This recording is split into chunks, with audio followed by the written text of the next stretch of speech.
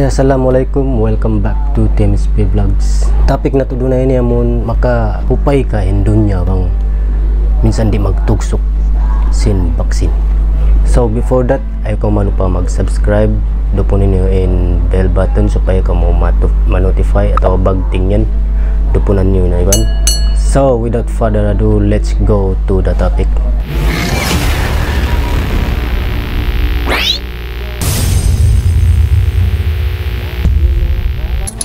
Before kita magsoy-soy bang unuin pagyanon herd immunity, malingkat na in ation tanabang unuin pagyanon herd immunity.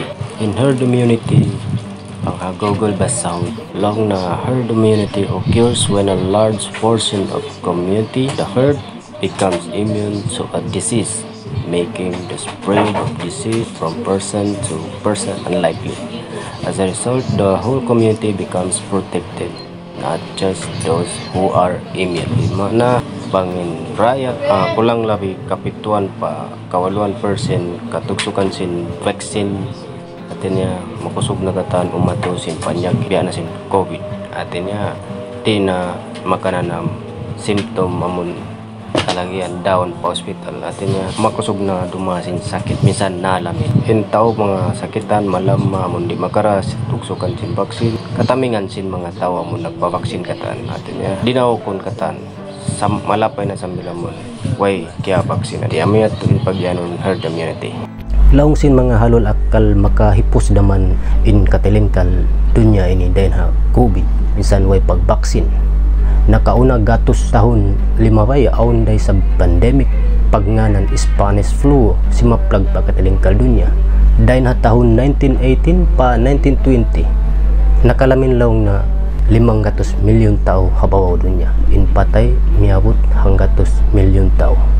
In COVID dinilaw na yampa hanggatos kapituan tagupat milyon. In nalamin in patay yampa 3 milyon labi pagubos law na ng lamin limang gatos milyon tao in Spanish flu.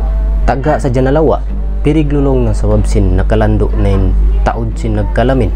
Salat da kumanin way nalamin jari nag-immune na in mano di na mahagin sin panyakit Spanish flu pagyanon nito.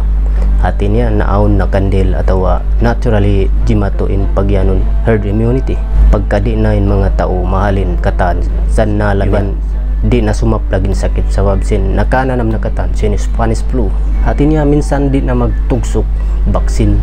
Mabot dain pagyanon herd immunity. Sarta subay mawot hangga 2 milyon in mapatay sin COVID. Ang pamawot in pagyanon herd immunity.